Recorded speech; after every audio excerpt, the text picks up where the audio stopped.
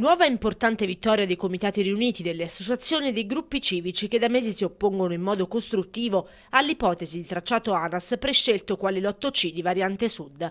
Dopo il risultato epocale unico in Abruzzo ottenuto presso il comitato VIA, che ha indetto l'inchiesta pubblica, i comitati e le associazioni plaudono l'importante risultato ottenuto presso il Consiglio Comunale dell'Aquila, che riunito ieri all'unanimità ha votato la mozione depositata dai consiglieri comunali Perilli e Massocco e sottoscritta da numerosi consiglieri di maggioranza e opposizione, che in sostanza ribadisce la netta contrarietà a tutte le ipotesi di variante sinora proposte dall'ANAS e promuove venga costruito un reale processo partecipativo che conduca a un'effettiva cooperazione progettazione del tracciato con le comunità locali attraverso metodi codificati di partecipazione con questo passaggio si segna un epocale cambio di marcia nelle aule del Consiglio Comunale. I consiglieri di maggioranza e opposizione decidono in sostanza all'unanimità di superare le vecchie logiche dell'emergenza impositiva e contraria a ogni normativa comunitaria, che richiedono invece per questo genere di opere infrastrutturali così importanti un reale coinvolgimento delle comunità locali attraverso un'attenta valutazione di impatto sociale e ambientale, supportate da una valutazione ambientale strategica che sappia analizzare l'opera, calandala nel contesto economico, culturale e sociale specifico dei territori coinvolti nell'intervento, rispondendo realmente attraverso una pianificazione integrata e negoziata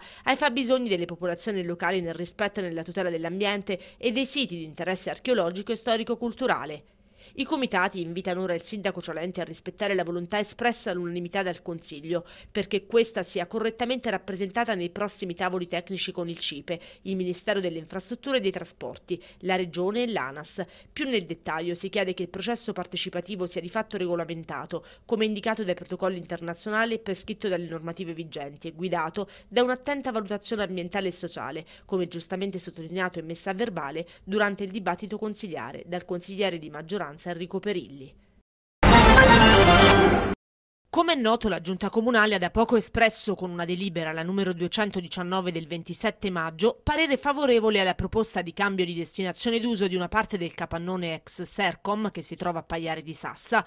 Il Consiglio di partecipazione numero 3 di Sassa, però, dopo una lunga discussione e dopo la richiesta del Comune di un parere consultivo, ha fatto emergere molti dubbi e criticità sulla proposta di cambiare la destinazione d'uso da commerciale direzionale ad uso industriale. Una storia infinita per un'eterna incompiuta che giace abbandonata ormai da anni.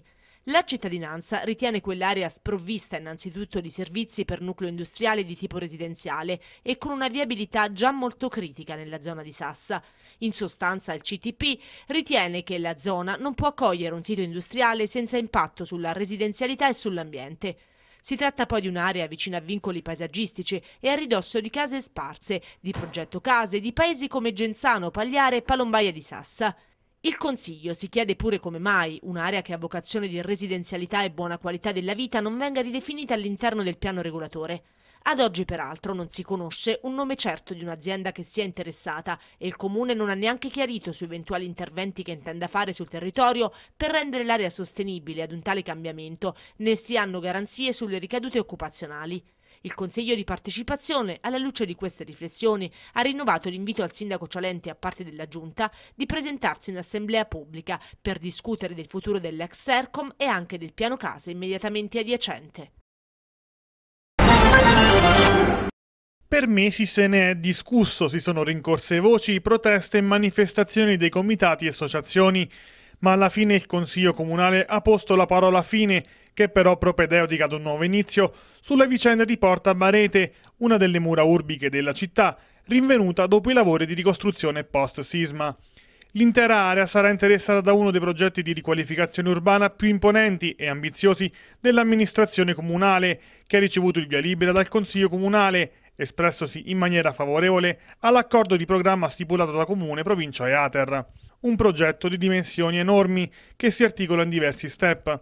Dei cinque edifici che insistevano nel quartiere di Santa Croce ne verranno ricostruiti soltanto tre, più a monte e non in situ, per la scelta di alcuni proprietari di accettare l'acquisto equivalente.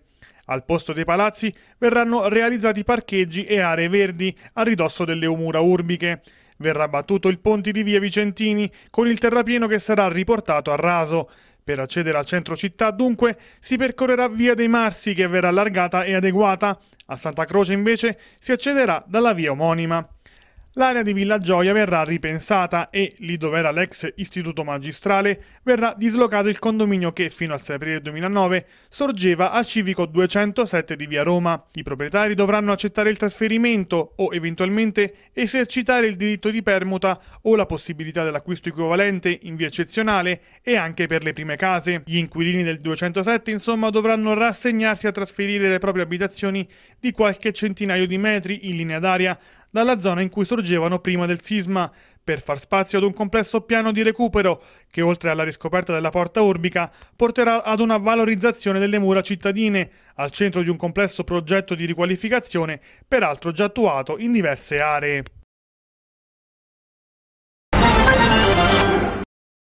Il 14 giugno all'Aquila sarà celebrata la giornata mondiale del donatore del sangue, una giornata importante che in vista dell'estate serve soprattutto a sensibilizzare ancora una volta sull'importanza della donazione.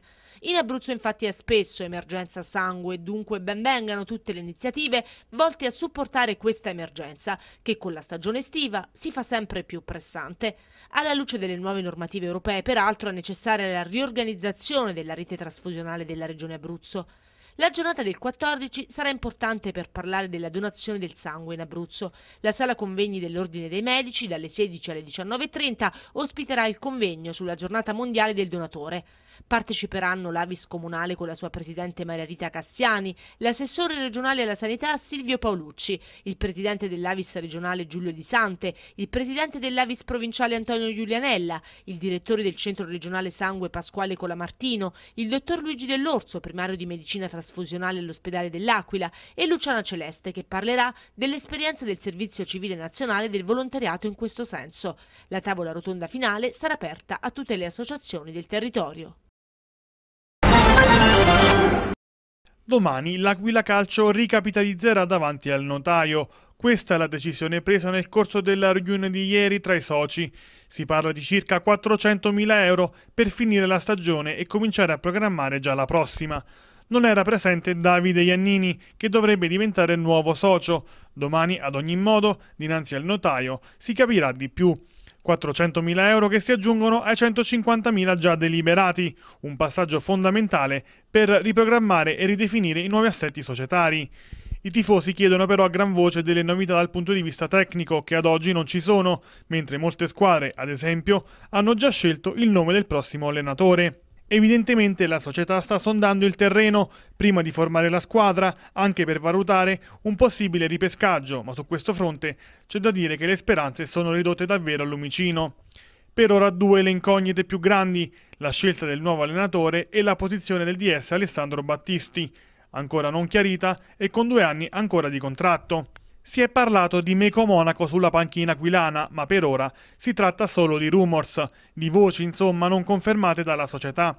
Intanto perché quel riguarda lo stadio di Acquasanta, ieri mattina è arrivata la firma del contratto per l'installazione delle telecamere.